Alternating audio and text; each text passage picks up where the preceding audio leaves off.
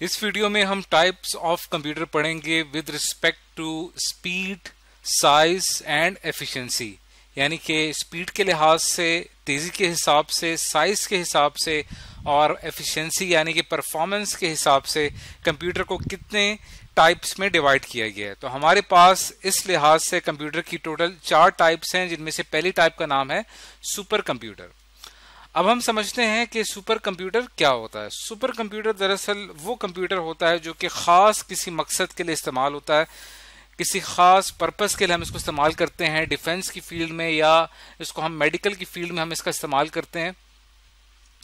और ये काफ़ी फास्ट कंप्यूटर्स होते हैं। इनका जो प्रोसेसिंग होती है वो काफ़ी तेज़ होती है।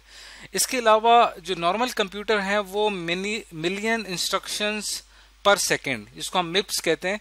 मिलियन इंस्ट्रक्शंस पर सेकंड यानी एक सेकंड में मिलियन इंस्ट्रक्शन प्रोसेस कर सकते हैं नॉर्मल कंप्यूटर लेकिन ये जो कंप्यूटर होते हैं, इनकी खास बात ये होती है कि ये floating point instructions per second कर सकते हैं। फ्लोटिंग पॉइंट इंस्ट्रक्शन जो होती है, ये काफ़ी ज़्यादा जो होती मिलियंस की तादाद में बहुत ज़्यादा होती है। इस वजह से इस कंप्यूटर की जो परफॉर्मेंस है, वो काफ़ी ज़्यादा इंक्रीज कर जाती है। इसके अलावा जो इनकी स्पीड बढ़ जाने की वजह जो है वो ये है हाई स्पीड प्रोसेसिंग होने की वजह ये है कि इसके अंदर जो कंप्यूटर के मेन हिस्से होते हैं, जैसे कि CPU central processing unit RAM, random access, memory और हार्ड डिस्क, इनको काफ़ी ज़्यादा बढ़ा दिया जाता है। यानी नॉर्मल कंप्यूटर में अगर एक सीपीयू इस्तेमाल होता है तो इसमें हम काफ़ी ज़्यादा सीपीयू लगाते हैं, काफ़ी ज़्यादा सीपीयूज का इस्तेमाल करते हैं। रैम की जो क्वांटिटी है, वो काफ़ी ज़्यादा बढ़ जाती है। स्टोरेज स्पेस काफ़ी ज़्यादा बढ़ जाती है, जिसकी वजह से ओवरऑल कंप्यूटर की जो परफॉर्मेंस है, वो काफ़ी ज़्यादा इंक्रीज कर जाती है। इस तरह के जो कंप्यूटर्स हैं, इनको सुपर कंप्यूटर कहा जाता है। इनका साइज़ जो होता है, वो काफ़ी ज़्यादा बड़ा होता है। एक आम इंसान के लिए इसको इस्तेमाल करना काफ़ी ज़्यादा मुश्किल होता है। जैसा कि आप इस डायग्राम में देख सकते हैं, इस डायग्राम के अंदर एक सुपर कंप्यूटर दिखाया गया है।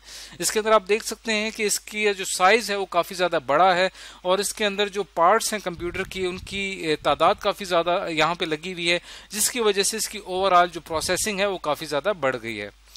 अब हम चलते हैं अगली टाइप की तरफ़। अगली टाइप जो है टाइप्स ऑफ़ कंप्यूटर में वो है मेन फ्रेम कंप्यूटर तो मेन फ्रेम कंप्यूटर वो कंप्यूटर्स हैं जो कि ख़ास किसी कंपनी या ऑर्गेनाइजेशन में एक लिमिटेड रेंज के लिए इस्तेमाल होते हैं। जैसा कि आप इस पिक्चर में देख सकते हैं, इस पिक्चर में एक मेन फ्रेम कंप्यूटर दिखाया गया है। इस मेन फ्रेम कंप्यूटर के अंदर जो दो इंपॉर्टेंट चीज़ें हैं, वो ये है कि एक इसके अंदर डंप टर्मिनल होता है और एक इसके अंदर प्रोसेसिंग टर्मिनल होता है। जैसे कि आप इस पिक्चर में देख सकते हैं, इसके अंदर जो आपको ये वाला एरिया नज़र आ रहा है, ये जो इसका पूरा जो बॉक्स है, इसको हम डंप टर्मिनल कहते हैं।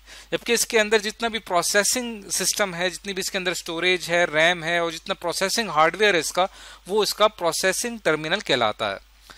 इसका साइज़ काफ़ी ज़्यादा बड़ा होता है, लेकिन ये सुपर कंप्यूटर से काफ़ी डिफरेंट है। सुपर कंप्यूटर जो है, उसकी रेंज काफ़ी ज़्यादा बड़ी होती है, उसका साइज़ काफ़ी ज़्यादा बड़ा होता है। मेन फ्रेम कंप्यूटर जो होता है, वो लिमिटेड होता है, एक खास रेंज तक काम करता है। इसकी एग्ज़ाम्पल हमारे पास है एटीएम मशीन एटीएम मशीन के अंदर जो कंप्यूटर लगा हुआ होता है, वो दरअसल एक मेन फ्रेम कंप्यूटर होता है। उसके अंदर जो जितने भी हमारी कैलकुलेशन होती है, जितना भी हमारा मैकेनिज्म होता है, उसके अंदर जो हार्डवेयर यूज़ होता है, वो काफ़ी ज़्यादा, उसकी स्पीड काफ़ी तेज़ होती है, उसकी स्टोरेज स्पेस काफ़ी ज़्यादा होती है और ओवरऑल उसका साइज़ काफ़ी ज़्यादा होता है। अब चलते हैं अगली टाइप की तरफ़ सुपर कंप्यूटर और मेन फ्रेम कंप्यूटर जो है, ये दोनों कंप्यूटर जो है, वो आम पब्लिक इस्तेमाल नहीं करती, बल्कि एक खास ऑर्गेनाइजेशन अपने मकसद के लिए इस्तेमाल करती हैं।